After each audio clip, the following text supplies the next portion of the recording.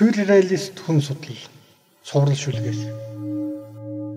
Нар шингэх агшны цусан улаан тэнгэрийн хаяанаас болж оюун санаа минь солиорчоод байхад ядралын амьсгаатай бороо шаагаад хар малгайтай хүн намайг багал зуртахад боовоо өнжуулан миний бие хормостын дагны дэрэгдүр зөрөв салаавч үзүүлэх мэт саран уулсын дундаас гараад үдэш ороо цагаан юмар бөөлжүүлэхэд дуусахад цаг хугацааг хэдэн хүн авсанд хийгээд нов ногоон газар болов.